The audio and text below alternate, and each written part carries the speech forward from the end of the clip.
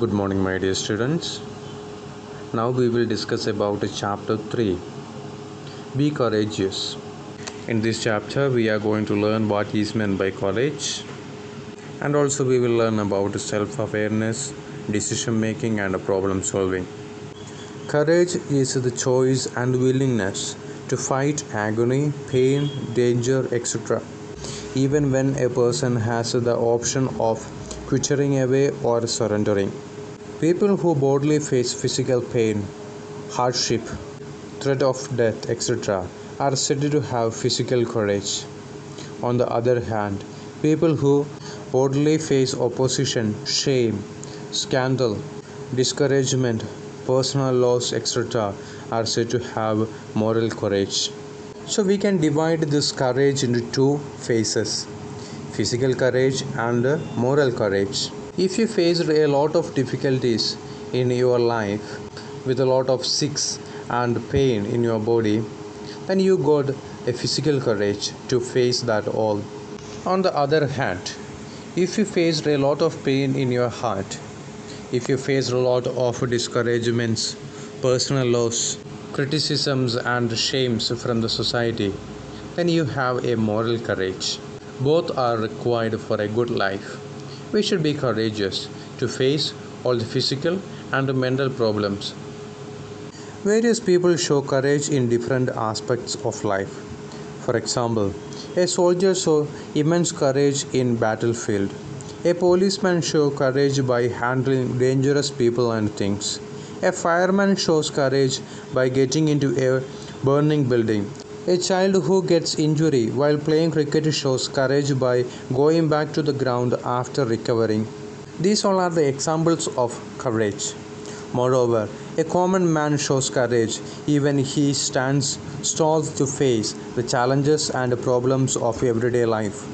Today, we are also showing courage to face the problems related to coronavirus.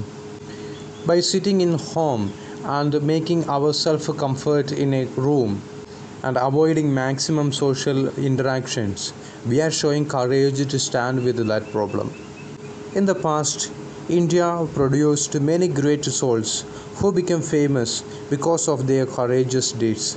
Subhash Chandra Bose was one of them. So we are going to learn about Subhash Chandra Bose.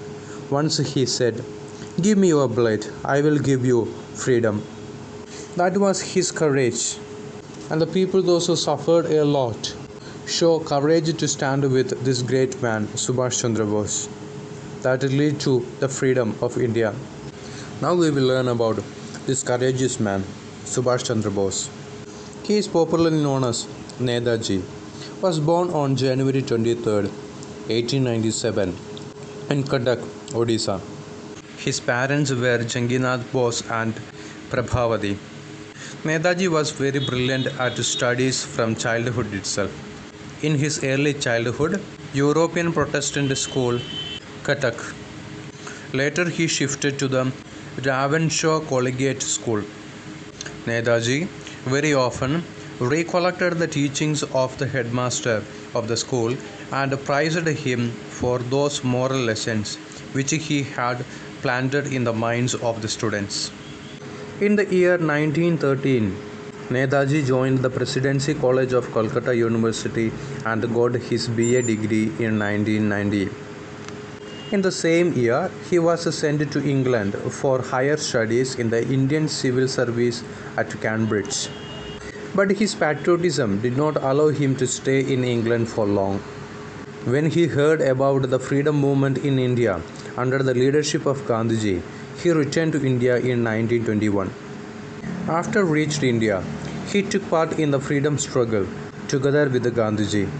He became the voice of the young generation of India. Joining the hands with Bhagat Singh, he organized a number of youth movements in different parts of the country. These movements were organized with an element of military discipline as a mean to achieve freedom. In his speeches, he stressed on patriotism, integrity, sacrifice, and uncompromising adherence to the cause of complete national freedom.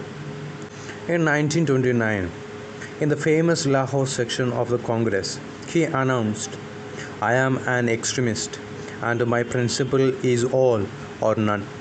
He was arrested and sent to jail many times. The British were cruel towards him in the prison. Once, even his blood soaked clothes were exhibited in a public meeting. But like a tiger in its cage, he roared at the British from the jail itself. During the time of hardship in the jail, there was a choice to quit from all this suffering, but he did not. That is called the physical and mental courage. Giving up is not the sign of a courageous person. He will try again and again, even though if he is failing. He will try until he achieves the success. That is the power of the courageous mind. In 1938, in the Haripura section of the Congress, he was elected as the president of the Indian National Congress. By that time, many people had become his followers. There he announced, There is no power on earth that can keep India enslaved any longer. He even visited the other countries. Starting from Japan, he formed the Azad Hind Fauj, International Army. He spoken to its members. We shall carve our way through the enemy's rank, or if God wills, we shall die a martyr's death. The road to Delhi is the road to freedom. Dilli Chalo was the motto of the INA people, helped Netaji in many ways. Though Netaji earnestly worked for freedom, he could not see a free India. In August 1945, he was traveling to Japan with a few of his friends.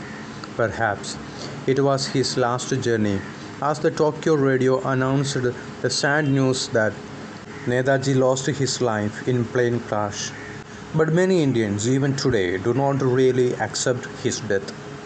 Netaji has a place of distinction in the history of India's freedom struggle.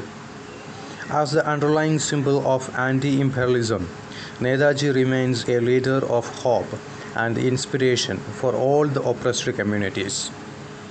So, dear students, courage refers to your spirit of standing tall in dangerous situations. Try to be courageous in small as well as big aspect of your life. Face the challenges and the problems boldly.